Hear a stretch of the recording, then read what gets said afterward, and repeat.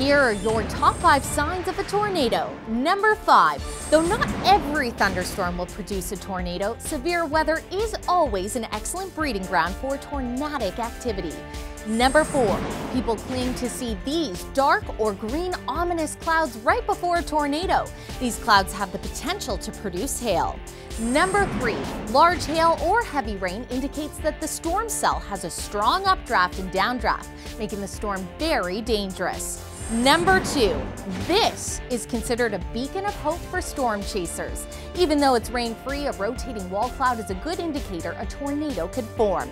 And number one, the funnel cloud is not considered a tornado until it touches the ground. A funnel cloud is a good indication that a tornado is likely to form and that shelter should be sought.